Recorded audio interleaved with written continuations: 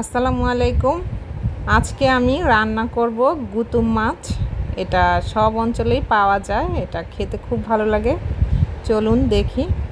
তো এখানে আমি গুতুম মাছ নিয়েছি আর মাছগুলোকে কেটে খুব ভালোভাবে ধুয়ে নিয়েছি। আর মাছ ধোয়ার ক্ষেত্রে লবণ দিয়ে ধুবেন, এতে করে মাছটা খুব ভালোভাবে পরিষ্কার হয়।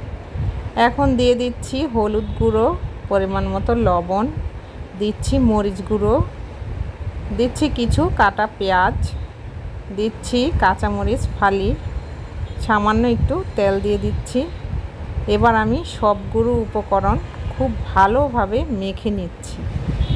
তো এইভাবে মেখে নিলে মাছটাকে খেতে ভালো লাগে, এজন্য খুব ভালোভাবে মেখে নিতে হবে মশলাগুলোর সাথে।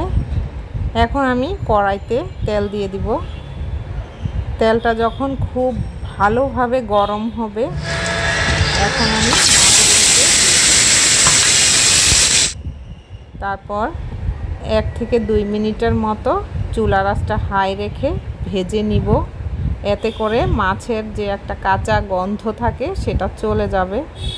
তো দেখুন, ভেজে নেওয়া কিন্তু হয়ে গেছে আর এটা বেশি ভাজতে যাবেন না, এক থেকে দুই মিনিট। এর বেশি কিন্তু ভাজতে যাবেন না। না হয় মাছটা ভেঙে যাবে। তারপর যে পাতিলটাতে মাছটা মেখেছিলাম, সেটাতে একটু পানি নিয়ে সামান্য একটু পানি দিয়ে দিলাম। এবার নেড়ে মিশিয়ে দিয়ে ঢাকনা দিয়ে ঢেকে দিব। আর এই মাছটা রান্না করার ক্ষেত্রে চুলা রাসটা একদম হাই রেখে তারপর রান্না করবেন। তো ঢাকনা দিয়ে ঢেকে রান্না করে নিচ্ছি পাঁচ মিনিটের মতো। পাঁচ মিনিট পর ঢাকনাটা সরিয়ে দিচ্ছি। আর দেখুন, আমার রান্নাটা কিন্তু কমপ্লিট হয়ে গেছে। তো আমার রান্নাটা হয়ে গেছে। এই মাছটা দিয়ে কিন্তু ভাত খেতে খুবই ভালো লাগে। আমার এই মাছটা খুব প্রিয়। তো আমি এইভাবেই রান্না করি।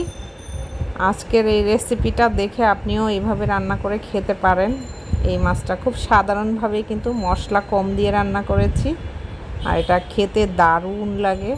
রেসিপি ভালো লাগলে সবার সাথে শেয়ার করে দিতে পারেন। আল্লাহ হাফেজ।